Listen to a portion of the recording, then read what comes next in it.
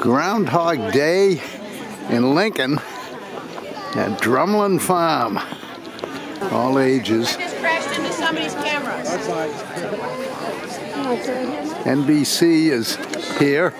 Hi. Hi. Welcome to Drumlin Farm. I'm Renata Pomponi, Sanctuary Director, and I'm very excited to welcome you to Ms. G's 10th forecast.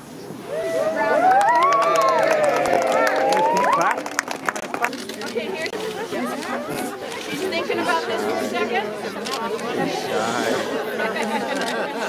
this is a, this is a world stage for her, right?